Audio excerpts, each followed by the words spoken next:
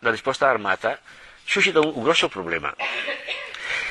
Non soltanto può darsi che tu combatti per, eh, per, ufficialmente per garantire tua, il, il, diritto di credere, però dentro di te non ci credi del tutto, no? incoerenza di fede. Ma c'è anche il fatto che la fede ebraica in particolare ti pone dei, dei paletti sul piano del comportamento, sul piano morale. Per esempio, uno di questi paletti è la legge che per gli ebrei all'epoca era la più importante, il sabato. E il sabato è sacro a Dio, tu non puoi fare nessun lavoro. Combattere è un lavoro, è proibito. Ma se il tuo nemico ti, ti attacca di sabato? Leggetevi i due libri, vedete quante volte si sottolinea che di sabato l'esercito attacca, sabato, il giorno di sabato danno l'attacco, eccetera. Scelgono sempre il sabato per attaccare perché sanno che in questo modo costringono gli ebrei per potersi difendere ad andare contro la legge per la quale combattono. È, un controsenso continuo. È una strategia di guerra, ma che pone gli ebrei davvero in braga di tela, cioè, anzi nella melma, per, per de avi.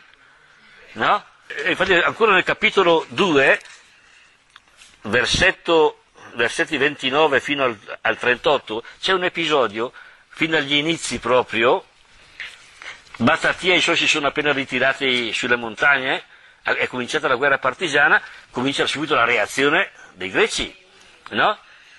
E a un certo punto molti ebrei fedeli a Dio e alla sua legge andarono con i loro figli, le loro donne, i loro greggi ad abitare nel deserto, perché non potevano più tollerare quella situazione. E arrivano i soldati, versetto 33, eh, i soldati greci dissero loro adesso basta, venite fuori e eseguite l'ordine del re se volete aver salva la vita, che è sabato. E quelli rispondono, nessuno di noi si muoverà di qui e tantomeno eseguirà l'ordine del re, non profaneremo mai il giorno di sabato, perché già uscire era fare un, dei passi proibiti. Esatto. Allora i soldati del re li attaccarono con le armi, quegli ebrei però non reagirono affatto, non lasciarono neanche una pietra, non lanciarono neanche una pietra e non si barricarono nei loro rifugi, perché già quello era lavoro. E dissero siamo tutti innocenti e come innocenti moriamo. Il cielo e la terra sono testimoni che voi ci uccidete ingiustamente. Dato che era di sabato, quando li assalirono li lasciarono, si lasciarono uccidere con le loro donne, i loro bambini e il loro bestiame. Erano in tutto mille persone. È un problemaccio, eh? Come posso difendermi? Poi Giuda trovò, di sabato. Eh, eh, eh, quello è un altro discorso ma eh, Giuda non rientra tra gli osservanti del sabato in questo caso, è vero o no? Eh, ma poi, ma, ma anche le, tutti gli ebrei che hanno combattuto Giuda, Maccabeo e tutti gli altri, eh, si erano attaccati di sabato, che facevano? A un certo punto hanno deciso, beh, combattiamo, ci difendiamo. Non, non, saremo noi a attaccarli di sabato, ma se ci attaccano ci difenderemo. Però sanno di andare contro, di mettere in discussione proprio quella legge di Dio in base alla quale, per difendere la quale si sono dati alla macchia, è sul piano, sul piano diciamo, umano è un problemaccio, è un problemaccio.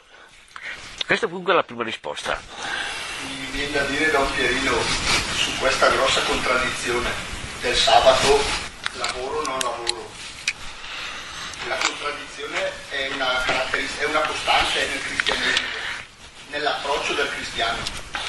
E quindi e, nella quotidianità che se ti approcci in qualche modo alla parola è vero in contraddizione costante sì perché non puoi neanche radicalizzarla non ci stai dentro in nessun modo mai non ci stai dentro mai a meno che tu vada all'essenziale che è amare e basta certo ma eh, in che modo visto che la faccenda non è risolvibile quotidianamente si può affrontare un problema di questo tipo? Oh beh, voi sapete che il riferimento alla legge del sabato in particolare, la legge del, del lavoro, per i cristiani ha un altro significato rispetto agli ebrei. Per gli ebrei il, il riposo è la festa. Santificare la festa per gli ebrei è riposare, è riconoscere che la terra è dono di Dio che noi non, non ne siamo i padroni ma siamo usufruttuari. E è fare quel che Dio ha fatto nel racconto del prim- della prima pagina. Per sei giorni lavora, al settimo riposa. Contempla l'opera, darsi rappo- eh, uno stile di vita di rapporti gratuiti, amicali verso la natura e verso le persone. Quindi niente lavoro, niente, niente eh, corse, niente, niente, niente, cammini inutili, ma star, lo star lì tranquillamente in amicizia, in pace, no? con se stessi, con gli altri, con Dio. Questo è per loro la festa. Per, gli, per i cristiani la festa è celebrare la Pasqua di Cristo, non è il riposo. Nei primi secoli la Chiesa costringeva i cristiani a lavorare, anche perché l'ordinamento eh, romano a quell'epoca dell'impero non era per niente quello, era quello ebraico di sette giorni, no? il, il calendario romano è tutt'altra cosa. C'erano giorni di festa, cioè per i ricchi era, c'erano almeno 10-15 giorni di festa all'anno, al mese, scusate. Per i poveri non neanche uno, eh, forse i saturnali, i saturnali forse, ma mica sempre neanche quelli. Quindi una volta all'anno c'era la festa, gli altri giorni sempre lavoro. Comunque la Chiesa diceva, non solo a, a chi era sotto padrone, ma anche a chi era libero, voi nel giorno di, di lavoro lavorate. Non vogliamo che la gente dica che i, cristi, i, tanti diventano cristiani perché sono lazzaroni, gli piace riposare quando tutti gli altri lavorano. La motivazione era diversa. Quando invece, quando in Europa,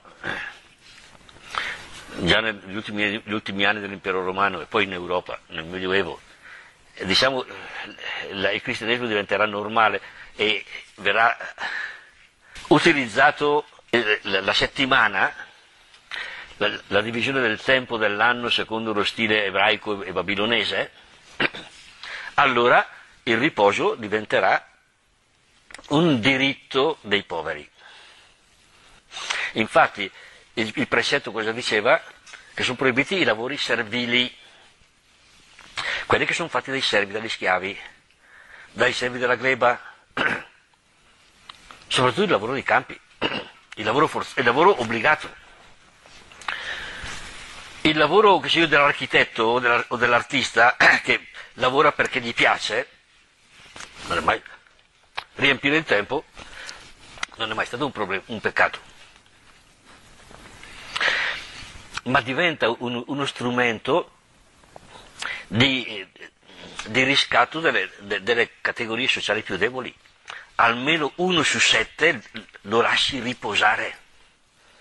Visto che il lavoro andava dal, da quando spunta il sole a quando tramonta e spesso anche di notte, uno su sette no, ti fermi, il tuo guadagno si blocca, rispetti la, anche loro sono esseri umani. E per di più, riposando, hai tempo anche di poter incontrare gli altri, mm, partecipare all'Eucaristia, eccetera, eccetera, eccetera.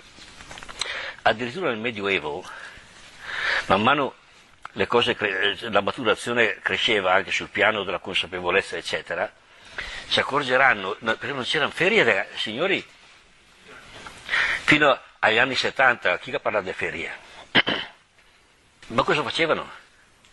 Siccome sei giorni erano duri da, da, da, da tirare avanti, specialmente in certe situazioni umane, hanno inventato tutte le feste infrasettimanali, feste dei santi. Ma ce n'erano, nel Medioevo a un certo punto ce n'erano almeno una, una due alla settimana, eh. vuol dire che ogni due o tre giorni si, avevano un giorno di riposo, potevano rilassarsi. Era, era una conquista sociale il riposo, eh. cioè lo scopo è quello. Eh avere scoperto che si può lavorare anche di domenica e pensare che sia un valore eh, delle coglione. Eh? Ho sentito eh, quel, quel prete in provincia di Padova che si lamenta perché i negozi sono aperti la domenica. Per questo motivo lui dice. Sai, per esempio, eh, forse si, si dimentica che nel Medioevo erano le parrocchie a chiedere al re l'autorizzazione a fare il mercato di domenica perché se tu fai il mercato di domenica la gente viene in piazza per, per il mercato e se è in piazza viene anche in chiesa se no sta a casa a dormire e la vigna a messa. C'era anche quell'aspetto lì, né? E addirittura nel Medioevo ricordiamo che quando pioveva il mercato si faceva in chiesa, si faceva la celebrazione presto, poi tutto il giorno era la Chiesa a disposizione del mercato, perché è un modo per aiutare la gente. Centro. E anche quel, c'è anche quell'aspetto lì. Comunque era anche un modo per aiutare, per, per facilitare le cose. Magari peccato solo dopo anche, dopo che più quello. Eh, c'è anche quell'aspetto lì. No, ma per dire come le cose magari cambiano. Io ricordo quando ero ragazzino, mio padre faceva l'ambulante, ma il giorno che si lavorava di più era la domenica, né? perché era- quel giorno lì la gente veniva in, in paese vestiti della festa, non avevano fretta e si fermavano a fare le spese. E se anche la, la- la bottega era chiusa, passavano in casa. E- Se, se, che i miei problemi a qualunque ora, non ha orari, non niente. E molti anzi la domenica mattina mettevano l- la loro merce fuori dalla porta, come nel Medioevo quasi. Eh. Per cui la gente passando si fermava, guardava e comprava. E poi aveva un altro giorno di chiusura. No, non era quello, basta, c'era la domenica appena, quando ero ragazzino io. Poi c'erano le feste, va bene, le feste, ma però non erano più tu- tutte le feste del Medioevo, erano già sgrossate. Ma non preoccupiamoci, non credo che siamo tutti. Comunque eh, il problema, il problema del riposo non, non è uguale per gli ebrei e per noi, eh, sono diversi. Per noi l'importante è celebrare la Pasqua di Cristo, cioè è far diventare nostro quello che lui ha fatto, quello, è- quello per noi è la festa.